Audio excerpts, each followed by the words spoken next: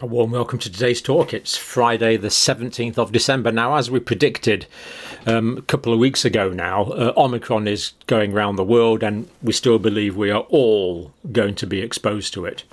Just to give you an example of that, the R value in the UK now is between 3 and 5. So reproductive value of between three and five in the UK at the moment. This is escalating very steeply, still exponentially. Now, before we look at the UK and some other areas of the world to look at where we're going to go on this, let's just look at some orientation slides first of all. So um, here we have, uh, this is the new confirmed cases. So um, Japan, wonderful. Pandemic's gone away. Uh, New Zealand fairly low, Australia going up now. Now, I'm not fully up to date with the Omicron situation in Australia, but we do know that there is some now, so I'm afraid we can expect the Australian figures to go up. Um, Canada going up already. South Africa, quite a steep increase. But we know that the actual cases in South Africa are way higher than this. These are the officially reported diagnosed cases. The real number is real much higher. We'll be getting a report from a doctor in South Africa in a minute. Um, United States still fairly high with Delta. No sign of the Omicron surge in the United States, but it will come. Germany, again, Omicron not really taken hold there, but some of the measures bringing Delta down a bit. Ireland and uh, the United Kingdom both uh, surging ahead, both uh, powered by Omicron. So um, that's the cases. Now, I just want to give a bit of orientation here to uh, Europe, Europe as a whole. Again, new, new newly diagnosed cases or, or um, officially diagnosed cases rather. Denmark, Omicron surge, very high, very high number of cases in Denmark. Switzerland next, United Kingdom, Norway, Ireland. So all of these high countries, these are all Omicron surges. Looks like Omicron starting to take hold in France as well. Germany, Spain, Portugal, United States, lower. Omicron yet to take a, a grip in those countries. But remember, that's purely the number of uh, cases diagnosed. So here we see the official sort of Omicron figures. Now these are probably about a, a, week out of date now, the official figures. The, the, the, real numbers are much higher than this in terms of Omicron in quite a few of these countries. But South Africa, we notice it's basically all Omicron now. Australia, we've got 11% there. Um, Canada, 9.6%. Japan, even though there's essentially no cases in Japan, some of them are Omicron. So I think that's fairly definitively we can say that we will start to see Japan featuring on that graph. Let's hope we don't get hospitalizations and deaths, but in terms of cases, the Omicron will be spreading around Japan the same as everywhere else. It's, it's inconceivable, really, that it won't. Um, but let's let, let, let, let's wait and see. We This pandemic sometimes surprises us. Keep going to the wrong screen. There we go. Um, United Kingdom, well, we know that the cases in the United Kingdom are, are much higher than that, at least 20 30% now. Germany, Ireland, we know they're much higher than that. Um, New Zealand, I don't know. Um, so that's that, that's roughly where we're at a week ago with uh, variants. Uh, weekly new hospital admissions per million. Now, this is interesting. So we do see an increase in hospitalizations in South Africa. We do see that, but as we've said, Omicron is everywhere in South Africa now, or well, it's, it's, it's, spreading there very, very rapidly still. Uh, Germany, Ireland, United Kingdom, South Africa, United States, um, new hospital admissions remained fairly high in the United States. Largely the largely the northern states at the moment driving that, but still pretty high overall. But South Africa encouragingly low. Uh, new daily confirmed deaths. So South Africa, and they do they, they, they do register the deaths accurately in South Africa. Very low numbers of deaths, and we're getting on for four weeks into the Omicron surge now in South Africa, but still a very low number of deaths. So this is remarkably uh, reassuring so far. Um, Ireland, United Kingdom, deaths slightly going down in the United Kingdom. United States, the deaths have stayed high. And uh, again, um, Delta driven deaths in Germany relatively high, despite uh, exceptionally good healthcare facilities in Germany. Share of the population fully vaccinated, well, I think we can see a clear group here of these countries and another grouping here of uh, well, group on its own, South Africa, and of course, other African countries would be uh, below that. More discussion on that in a minute. It is quite relevant. So um, that's sort of orientation as to where we are at the moment. Now let's let's look at some detail now for the United Kingdom. Um, so as we said, the R value is three to five. Now this was the cases yesterday. They're up here, up there. Don't know how well you can see that, but that, that that's the line up there. So there we are now. And of course, when the figures come out in about three hours' time, almost certainly we're going to be up here because the testing in the UK is still pretty good. Not doubling, but but going up uh, fairly fairly sharply. It's not doubling every two or three days, but of course these are official. These are official figures. The real number of infections we know is way way higher. So that is definitely going up, and it will be higher than it's ever been before in the entire pandemic in terms of cases. Now, this is another interesting knock-on effect or problematic knock-on effect. St Guy's and Thomas's, St Thomas's Hospital Trust, one of the biggest trusts in London, 10% of the staff are currently off with, with COVID, mostly Omicron, having to self-isolate for 10 days. 10% of staff, and that's only going to go up. This is going to be a big problem.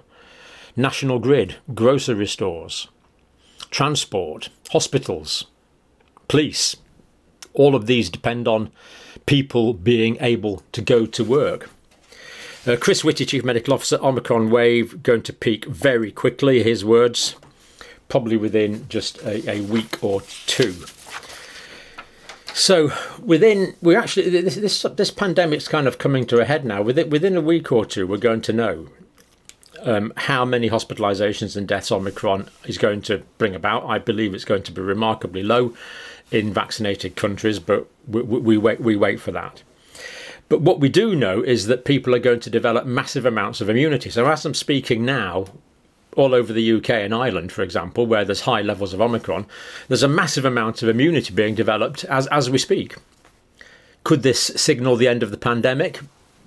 To all intents and purposes, that, that, that, is, that is possible we're coming to a head now, and, and, and I'm, I'm hopeful that it's not going to be expensive in terms of hospitalisations and deaths. Um, so infections in the UK doubling every two to three days, about 2.4 is probably the best estimate. NHS reduction in supply, that is a lot of the staff are off sick, and increase in demand all at the same time, and more records could be broken. So more people will need to go to hospital as more and more workers are off sick. So that is a problem. How is that going to pan out over the next few weeks? We really don't know yet. But Chris Whitty says more records will be broken. So let's just have a look at the uh, the official site for the UK. That is here. So I've put I've put the link to this, of course. Um, immense amount of information there: testing, cases, healthcare, vaccinations, um, data, all really readily available, and we see that huge increase. So that was the day before, and that was yesterday. And as I say, that will be going much higher. They're going to have to change the scale on the graphic pretty soon. Just have a look at the COVID symptom study app here as well. Um, 88,000 new cases in the UK reporting symptomatic COVID, but today the number of people actually getting Omicron must be at least quarter of a million, at least that by now. It was 200,000 two days ago, so it could, it could be it could be going on for three, four hundred thousand now, and yet only eighty-eight thousand projected to be symptomatic in the country. So, it looks like we are seeing quite a lot of people either incubating Omicron who have not yet become symptomatic, pre-symptomatic people, or people that are indeed, thankfully, uh, asymptomatic. And we do know that people that have been boosted, for example, have got about a 70% chance of being asymptomatic. So that's really quite uh, quite encouraging at the moment. Um, so that that was daily cases. Uh, this is this is the prevalence, 1.72 million up there. London is a big concentration at the moment, as we'll see. And the the prevalence here, symptomatic cases. Remember, um, still they've got a it's got a way to go, but we are seeing a lot of asymptomatic or pre-symptomatic uh, Omicron infections. So that is, I, I'm I'm classifying that as good news at the moment. Um, now, Chris Whitty's saying that we've got Omicron as well as Delta at the moment. So what he's saying is number of Omicron infections is rising very fast, of course, very fast, but the Delta cases are flat. So what Chris Whitty, the Chief Medical Officer, is saying here is that we actually have two pandemics at the moment. We have the Delta one, which is staying flat, and we have the Omicron one, which is exponentially uh, increasing. Now, this is not this is not what we saw in South Africa. What we've seen in South Africa is Omicron replacing Delta. So I am confident that the Delta cases are going to go down as the Omicron cases increase over time. We're just not seeing it yet. And as the Omicron cases, which are causing minimal symptoms, we hope, go up, the Delta variant, which is causing nasty symptoms sometimes and hospitalisation, goes down. I, I'm, I think that could be a hopeful combination, and I would hope that, that, that, even though there's lots of Omicron cases, this is going to be balanced out in terms of hospitalisation, in terms of decreased Delta. But it's not happening yet. The data is showing that Delta is still with us, that we have two uh, pandemics at the same time. Delta is not going away, but being built on, according to the current data. But I, I do predict in the next few days that will change and the Omicron will start displacing the Delta as it did in South Africa, and that could have very good implications for hospitalizations and people getting sick. It really is would be immensely surprising if it didn't displace it the same as it's done in South Africa. That would be immensely surprising. So I'm predicting that Delta is going to reduce pretty soon, uh, days to a week or two doubling uh, if doubling time is every three days i'm making that assumption doubling times every three days christmas eve there'll be uh, another 462000 cases in the day. That'll be 2 million people testing positive. and the people that test positive have to self-isolate for 10 days. So 2 million people let's say a million of those are in the workforce. You don't need me to spell out how significant this is to the work to the whole running of the logistics of the whole country. Um, and their contacts may also be symptomatic.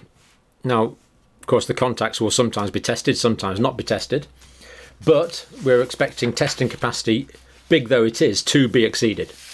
So in the UK, there's going to be so many Omicron cases, testing capacity will be exceeded. Now, at the moment, we can do about 800,000 PCR tests a day. That, that's going to bunk up by about another 100, 150,000 but it still could be uh, exceeded because we could be going for a million new infections a day.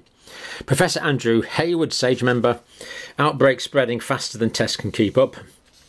And uh, he's got a useful analogy here.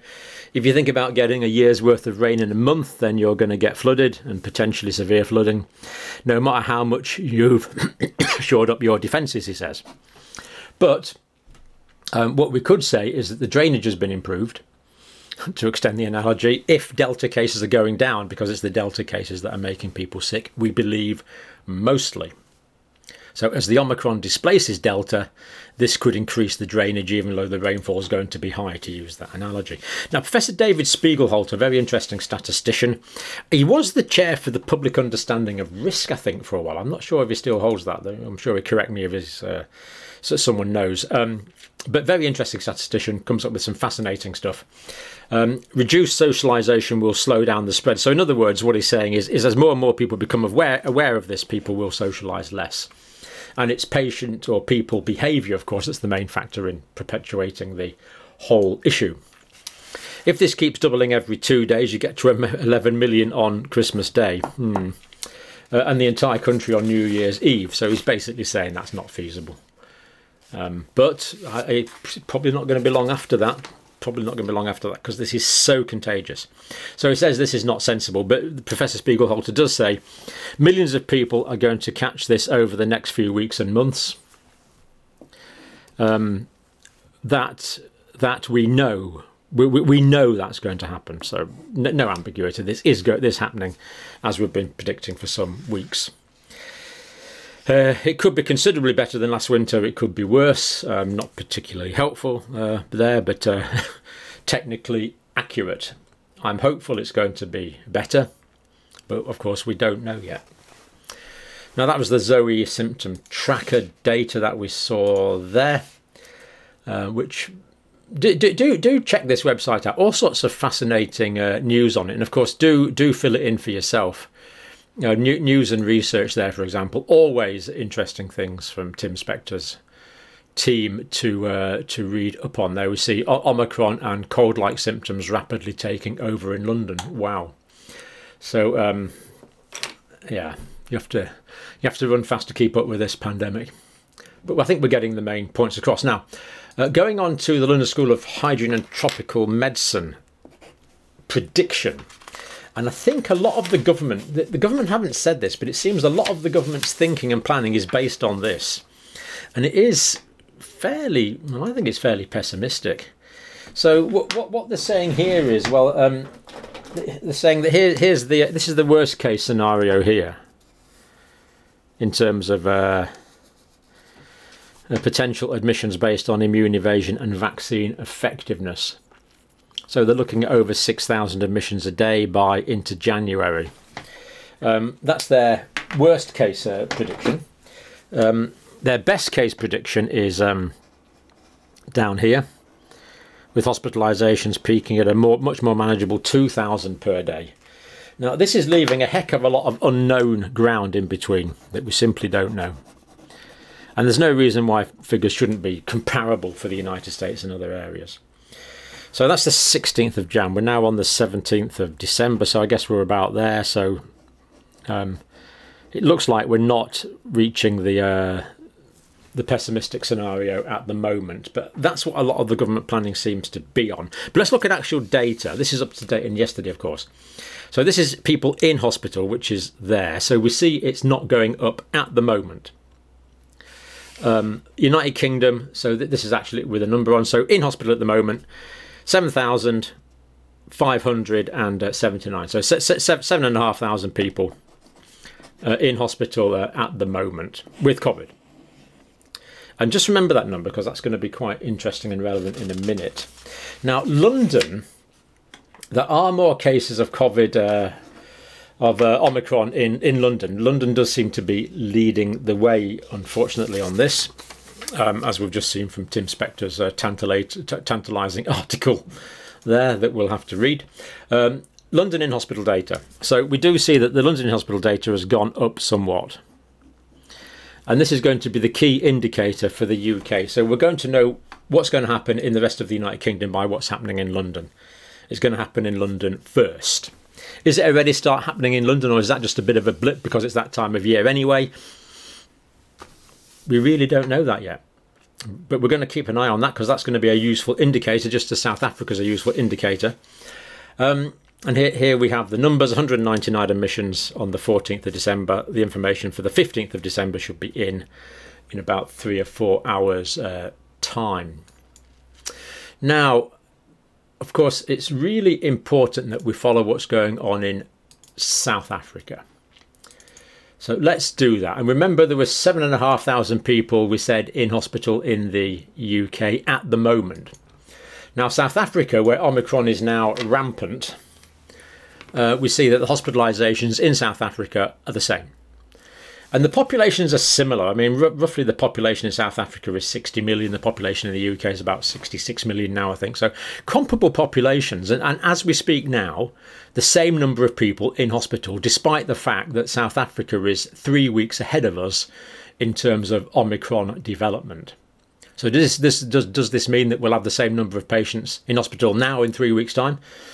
Well, if we follow the South Africa trend, that, that could that could well be what is uh, what is happening. Um, intensive care 509, high care uh, 564, patients on the ordinary ward 6,541. So that's the South Africa situation uh, now. Uh, and this is the level of intervention that they're receiving in South Africa. So um, currently ventilated 195 for the whole country, remember. And those, those requiring oxygen have gone up to nearly 1,300. So still a relatively small proportion of the entire population of South Africa. That's that's that's the proportion of 60 million people who are both in hospital and testing positive for COVID and being oxygenated, but some of those are being oxygenated, or a good proportion of those are being oxygenated for reasons other than COVID as the primary pathology. So I think this puts it in optimistic in an optimistic context. I would I would hope. So South Africa now. This is directly from a doctor in South Africa this morning. Um, I don't know if I can use his name or not. I'll have to ask him that, so I won't use it for now. Um, so what we see in South Africa, cases are rising steeply in all provinces now. Now, Gauteng, they seem to have levelled off or be going down a little bit, but in all the other provinces, they are scooting up. Um, cases in the fourth wave are higher than previous peaks in all previous waves. So this is the highest number of new infections in South Africa ever in the entire pandemic of new infections. But as we saw, hospitalizations currently 7,500. Relatively low. Hospitalizations and deaths are not currently following this trend. Remember, this is from a doctor in South Africa are still relatively low. Most admissions to hospital are still for unvaccinated people. That's interesting. Mostly still unvaccinated people in hospital. Pfizer boosters have been approved and can be given six months after full vaccination. And the first of those will go through in December. So it'll be six months for the first people in December, not cutting it to three months as we have done in the United Kingdom. And uh, we see the data for South Africa here it's all there available. At least it would if the when they update the website. But trust me, I did get that to get my data directly from the website when it was fully uh, working. So that is uh, information from the, uh, th those numbers from the Department of Health in South Africa. But interesting to see that perspective from a doctor on the ground in South Africa. Now, Black Dog writes in this um, I'm living in South Africa the mass of our popula population live in townships are and are unvaccinated, so the majority are unvaccinated, and especially in the townships. Uh, there is no mask or any social distancing ever since the pandemic started, so many people in the townships have basically not been following a lot of regulations, although there were compulsory lockdowns at the early stage. The elephant in the room has been ignored. We're only 25 to have to wait and see what the elephant is. We're only 25 to 30% fully vaccinated. True, very low vaccination, full vaccination rates. 16 seater minibus taxis commuting the masses of people daily. No masks, social distancing. 16 people all crammed in a minibus. Guaranteed spread. Hospitalisations and deaths are lower than a year ago during their earlier beta wave, I think it was a year ago in pandemic. Natural immunity, this is the elephant in the room. Natural immunity needs to come back to the discussion and needs to stop being downplayed and disregarded by the mainstream media, is a Black Dog's opinion um, which is an interesting view. And uh, in South Africa seems to have some merit, to be fair.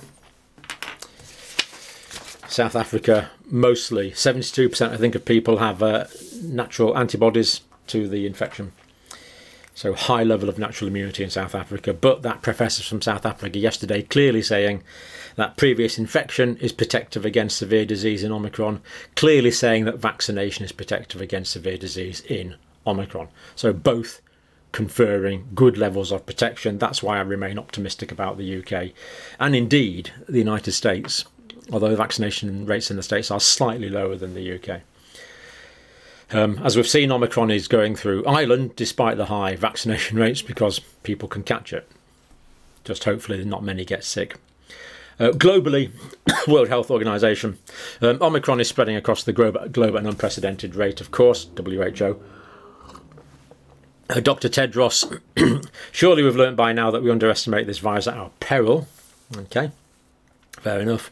Even if Omicron does cause less severe disease, the sheer number of cases could once again overwhelm unprepared health systems. So we still don't know for sure.